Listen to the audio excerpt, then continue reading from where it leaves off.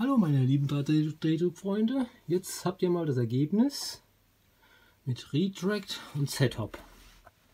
So, wie seht die Sache aus? Also bei dieser Temperatur da unten kein guter Klebekontakt zur nächsten Schicht. Die Brücken Ja, 225 Grad. Würde ich jetzt mal sagen. 240, 230, 225. Da irgendwo dazwischen haben wir entsprechend schöne Brücken.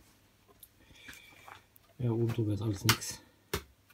Und das Ergebnis sieht auch im Vergleich mit dem ohne Retract und gleich was anders aus. Wie sieht denn das hier aus? Hm. Das wird eine Herausforderung, den Catboy Helm ohne Stützstruktur zu schaffen. Naja, wir werden wahrscheinlich ein bisschen sauber machen müssen, weil Stringing mit dem Filament lässt sich wohl nicht vermeiden. Okay, dann wage ich mich als nächstes an den, an den Helm, an den Catboy Helm. Na, bis zum nächsten Mal.